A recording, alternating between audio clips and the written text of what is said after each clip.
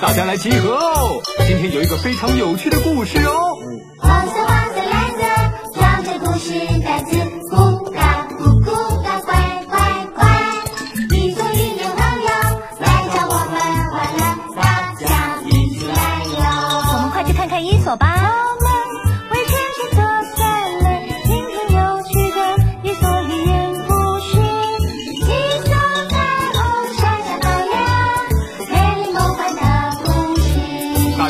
再见。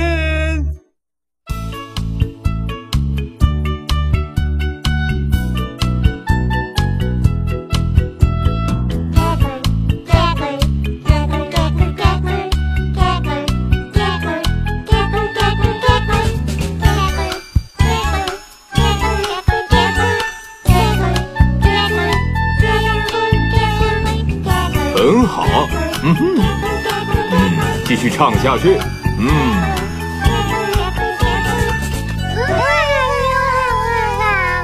哎，老爸，嗯，我刚看到一个很神奇的怪物哦。嗯，他是我儿子，一个被宠坏又没礼貌的孩子，请大家多多包涵。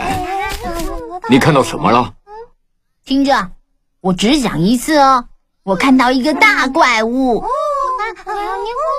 看起来很可怕哦，是真的。小青蛙开始跟青蛙爸爸形容他看到的可怕怪物。我告诉你哦，它的头上有角，个子很大很大，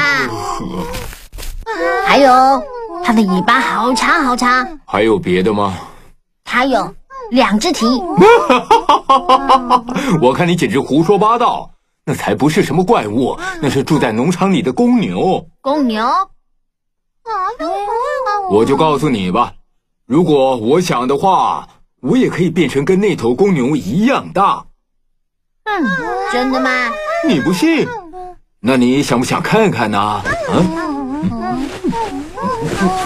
青蛙爸爸开始帮自己灌气。怎么样？那头牛是不是像这么大呀？只有头而已，身体比你还要大。嗯，真的吗？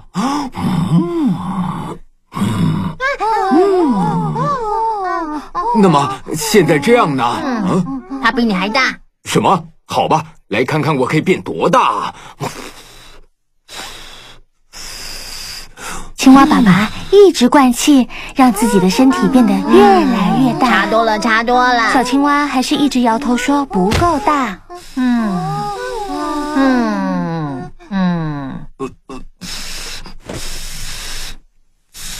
那头牛应该还要更大。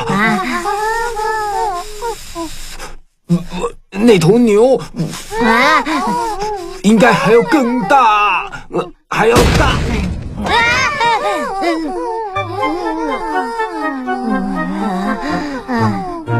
救命啊！救命啊！结果啊，青蛙爸爸因为太爱吹牛了，把肚皮胀破了。小朋友，现在你们知道吹牛会有什么结果了吧？谢谢大家欣赏我们今天的表演，再见喽。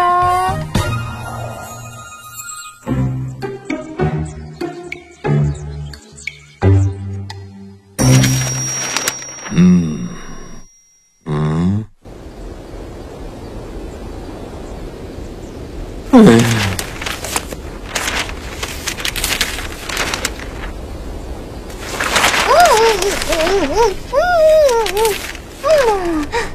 有新的戏！爱吹牛的青蛙。嗯，好像很有意思，我要去告诉大家。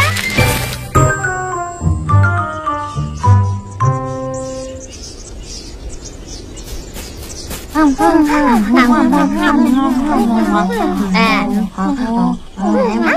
你们几个在吃什么东西啊？哎，没有人来看戏就没东西吃，没东西吃也不用吃南瓜子吧？嗯，哎，不要！我的前世是狮子耶，狮子不吃南瓜子。我当狮子的时候，呃，那个时候啊，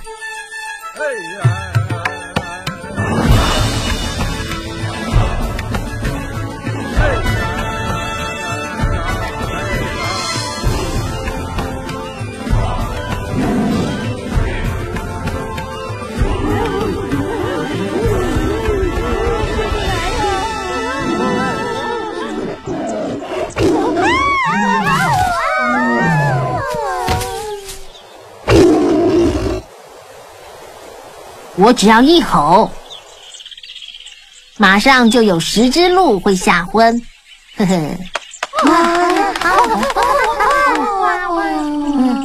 太神了！哎，这没什么啦。我只要一吼啊，还可以让二十只大象倒下哦。痛啊！编的什么故事，我都听不下去了。哎，丽比，你刚才说的都是真的吗？嗯，是骗人的吧？什么骗人？没关系，像你这种普通又没力气的狼，是无法了解狮子的世界的。是什么？普通又没力气，丽丽，我看你好像还不明白，我只要一拳就可以把一只熊打飞出去呢。哎，骗人！我才没骗人，上一次在森林里，我就正面碰上一只熊。俗话说得好，一山不容二虎，所以我们决定分个高下。呀！呃呃呃，哎，嘿嘿嘿嘿嘿嘿，最后是那只熊输了。哟呼！呃，真是乖孩子。为什么？因为他害怕我的铁拳嘛。告诉你，熊看起来很可怕，其实他们都是胆小鬼。嘿嘿，哈哈哈哈哈！他可是被我踩在脚底下呢。嗯嗯，哎，伊索，你最近好吗？嗯，啊，你怎么来了？哦，是有人托我传句话给你。熊告诉我，他很喜欢你的故事哦。你说熊什么故事啊？你刚才说的那个啊，他在那里等你。呃，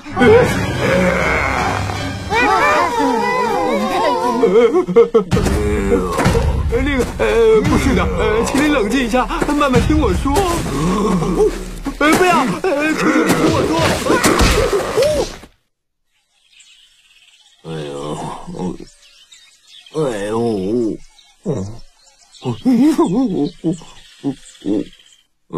小朋友，记得千万不要乱吹牛，不然你们就会跟我一样惨了。哎呦！鼓励的分享时间。这个故事的主角是青蛙爸爸。原来的故事应该是青蛙妈妈才对，可是伊索说他演妈妈不像，演爸爸比较好，所以呢，他就变成青蛙爸爸了。青蛙爸爸跟儿子吹牛，说他可以变得跟公牛一样大，所以啊，拼命的把肚皮胀大，没想到最后把肚皮撑破了。早知道这样，直接告诉小青蛙公牛比自己大不就好了吗？就是因为他吹牛吹得太夸张了，肚皮才会被气灌到胀破了。有些人会在大家面前大声说他什么事都办得到，可是真的要他去做的时候，偏偏又做不到。这是因为他们只靠一张嘴巴吹牛，却没有能力做任何事。伊索也吹牛说他比熊还要厉害，可是当熊真的出现的时候，他却吓得连动也不敢动。我知道每个小朋友都有很棒的天分，有的时候你也会想在朋友面前炫耀。如果是这样的话，我希望你记住，做不到的事情千万不要吹牛。你跟青蛙爸爸不一样，不是一个爱吹牛的人。还有啊，不需要太夸张你的天分，因为当你的朋友还有老师看到你的天分，他们自然就会夸奖你了。